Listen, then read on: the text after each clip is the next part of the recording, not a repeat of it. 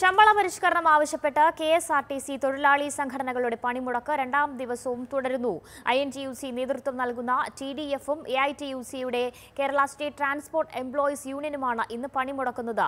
C I T U B M S സംഘടനകൾ ഇന്ന് പണിമുടക്കിൽ പങ്കെടുക്കുന്നില്ല. സമരത്തെ നേരിടാൻ സർക്കാർ ഡയസ്നോൺ പ്രഖ്യാപിച്ചിരുന്നെങ്കിലും ഇന്നലെ ഒരു സർവീസ് പോലും നടത്താൻ കഴിഞ്ഞിരുന്നില്ല. ഇന്ന് പണിമുടക്കിൽ പങ്കെടുക്കാത്ത ജീവനക്കാരെ ഉപയോഗിച്ച് പരമാവധി സർവീസ് നടത്തുമെന്ന് K S R T C അറിയിച്ചു. ഇതിനായി പരമാവധി സൗകര്യം ചെയ്യാൻ യൂണിറ്റ് ഓഫീസർമാർക്ക് സി എം ഡി നിർദ്ദേശം നൽകി.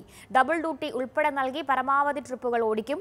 ആവശ്യ റൂട്ടുകൾക്ക് പ്രാധാന്യം നൽകി ദീർഘദൂര സർവീസുകൾ ഒറ്റപ്പെട്ട സർവീസുകൾ പ്രധാനപ്പെട്ട റൂട്ടുകളിലെ സർവീസുകൾ എന്നിവ നടത്തും.